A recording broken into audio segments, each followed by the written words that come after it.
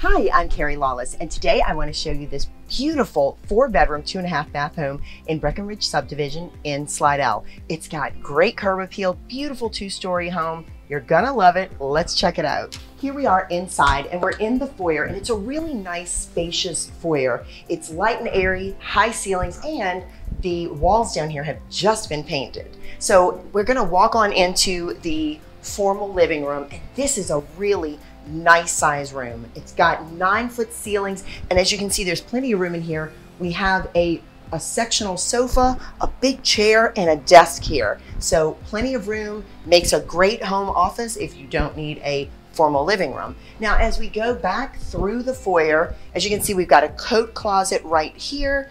And then here are our stairs. And right on over here is our dining room.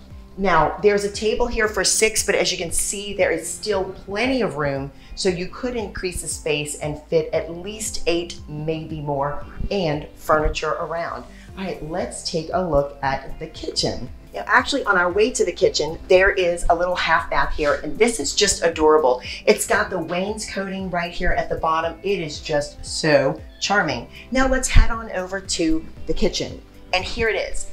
This kitchen is huge. It is so spacious. It's got nice, warm, rich cabinetry, stainless appliances, and it's huge. Look how much floor space is here. You could easily fit an island here, no problem at all. And then right over here, we've got our separate pantry.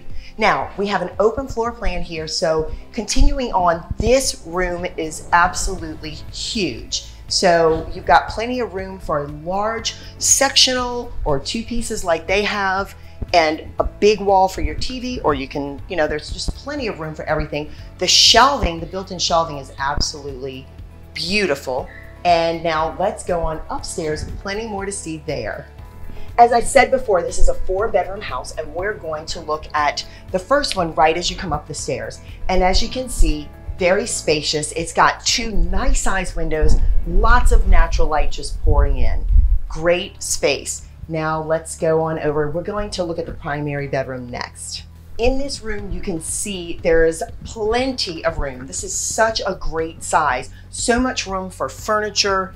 This is actually a queen bed. As you can see, plenty of room for a king size bed and there are nice size end tables. So, and then we've got the nice ceiling detail also with the tray ceiling. Again, freshly painted, plenty of natural light with the two windows. In this room, there are two closets. So we have the smaller of the two closets here in the hallway. And then we have the large closet right in front of where I'm standing. And then as you can see, we've got a stand-up shower. We've got a large soaking tub, dual vanity with a little area for makeup, and then a private water closet. Something that I think is very important. All right, on to the next one. As I'm moving on to the last two bedrooms, I'm going to show you the bathroom that services the other three bedrooms. And here it is. And it's got a nice 60 inch vanity, which is very spacious. It's got a combo tub and shower. And as you can see, super cute. All right, next bedroom right here. This is adorable, currently being used for an adorable baby. And um, as you can see, a spacious room, lots of natural light onto the fourth. This room right here is absolutely huge. I just love how much space is in here. Again, lots of natural light just flooding this room, plenty of space. You could fit more than one person in this room if need be, or this could be a great place to add a desk, home office, anything like that. Wonderful space here. Let's go check out the yard. There is so much to love about this backyard. I cannot wait to show you. First of all, we have this gigantic screened in covered patio. It is amazing. It is so big. There's so much room for entertaining here. Also, we have these um, roll down shades. So like if the sun gets a little too intense, you just roll these down. They're all the way across, super nice, and just block out the sun.